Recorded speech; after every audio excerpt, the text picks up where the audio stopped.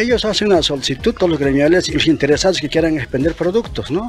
Hacen, se inscriben aquí en la Intendencia y también en ingresos municipales. Hacemos un listado y los ubicamos de acuerdo a su rubro, ¿no? El sector pan, otros van a poner flores, otros coronas, etcétera, etcétera. De acuerdo, se los va acomodando. Entonces ellos tienen la permisividad para asentarse, solo por hoy día y mañana, todos santos. Y ellos el día eh, jueves tienen que retirarse ya. Ahora en la mañana hemos hecho el cierre de vías en el Cristo con ayuda de la Policía Nacional. Está cerrada por si acaso las vías, entonces es un pasaje peatonal es, frente al frontis del cementerio general.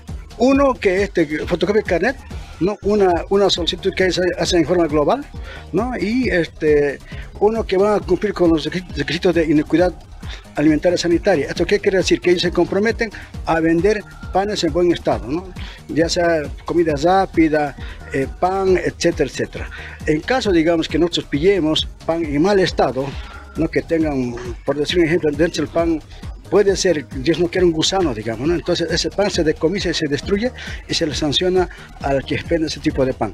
Porque ese es el compromiso con ellos que vendan de acuerdo a la iniquidad sanitaria alimentaria. Uno, está por si acaso prohibido ingerir o introducir bebidas alcohólicas al camposanto. No pueden meter bebidas alcohólicas ni vender, ni vender cerveza por si acaso. Está prohibidísimo. La policía va a actuar de oficio o los gendarmes van a actuar de oficio. Quien les habla de oficio vamos a actuar.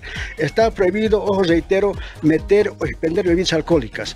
Esto y otro de, una sugerencia de buena fe también a, a la población, como va a haber un conglomerado de personas en el cementerio, por favor que usemos todos, me incluyo yo, los barbijos. No está por demás esa sugerencia de buena fe, usar barbijos. Vamos a estar ahí justamente ya, ya hemos dispuesto el personal de la Guardia Municipal y también la policía y quien va a estar ahí eh, controlando esta situación.